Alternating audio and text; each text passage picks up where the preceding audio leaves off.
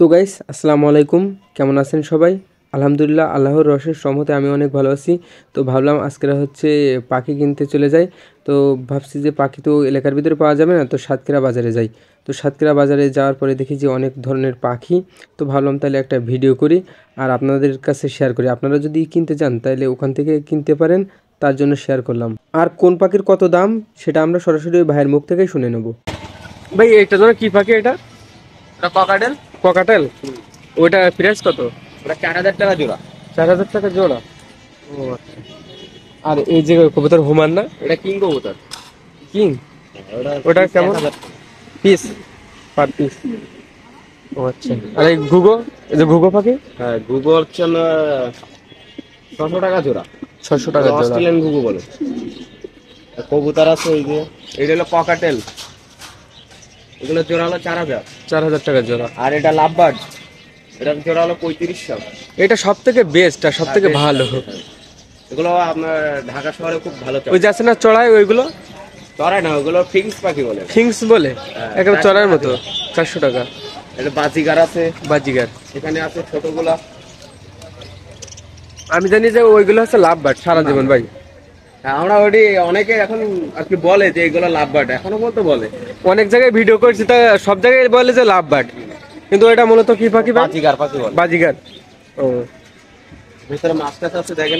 এই যে ময়ূর পাখি এটা লক্ষা। লক্ষা। অরিজিনাল না বলে লক্ষা। দাম ক- কত? ওর প্রাইস প্রাইস করবে এক হাজার। এক হাজার। তোরা এক হাজার টাকা বেশি আজকে এক পিস আছে তো এই জন্য পাঁচশো। এটা সর্বোচ্চ আছে। বড়টা বড়গুলো পাঁচশো টাকা জোড়া ছোটগুলো চারশো টাকা জোড়া। চারশো টাকা? মানে সম্ভবত ও তো চলে যায় মানে মাটি খুঁয়ে চলে যায় যার জন্য ভয়। ছোট থেকে পালে তাদেরগুলো যায় না। মানে অভ্যেস করা থাকলে আর কি থেকে যায়। আরে ঘুঘো? গুগো অস্ট্রেলিয়ান গুগো আপনার ছশো টাকা জোড়া। আর একটা কবুতর আছে ডিম বেরিয়ে রয়েছে তিনটে। হাইস রেকর্ড কবুতর তিনটে ডিম পারছে। হাইস রেকর্ড এটা। এক জোড়া কবুতরে তিনটে ডিম পারে। দেশীয় পাখি বিক্রি না করার কারণ কি জানতে পারি? দেশীয় আছে না?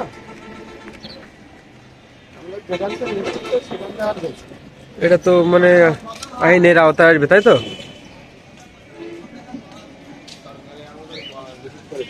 হুম দেশীয় পাখি বিক্রি করা ওইটা দিতে পারে কিনা? না না কালকেরা আমি গুগলে সার্চ করছিলাম। ইয়ে দোকানটাও দেখছিলাম। তারপরে যা জানতে পারলাম যে দেশীয় বিক্রি মানে দেশীয় পাখি বিক্রি করা হচ্ছে নিষিদ্ধ। একবারে নিষিদ্ধ। হ্যাঁ আইনের আওতায় নেওয়া হবে তাকে। এগুলো তো লাইসেন্স করা থাকে এগুলো এই কারণে চক্কর ব্যবসা।